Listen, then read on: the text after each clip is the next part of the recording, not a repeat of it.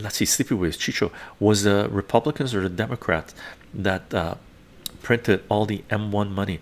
Uh, I'm trying to get back on the timing. It doesn't really matter if it's a Democrat or Republican to a certain degree because they do the same shit. Um, I think it was they eliminated reporting the M M1 in the mid 2000s. That would have been under Bush, right? And then they came up with TARP. It was supposed to be 70 billion or 700 billion dollars, but then it kept on pumping money into the stock market, pumped the fucking shit out of it, right?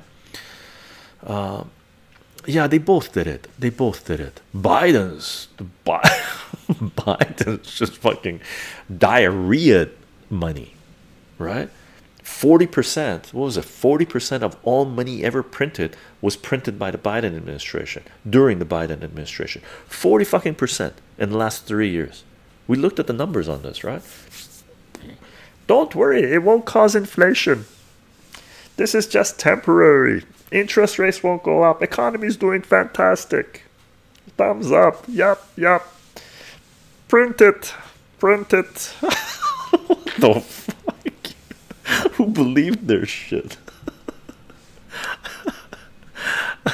Joel M. Sleepyways, both parties print uh, printed money, yeah, especially during COVID. Those checks that went out were uh, bipartisan. They were, they were, they were. Uh, Joe M says it.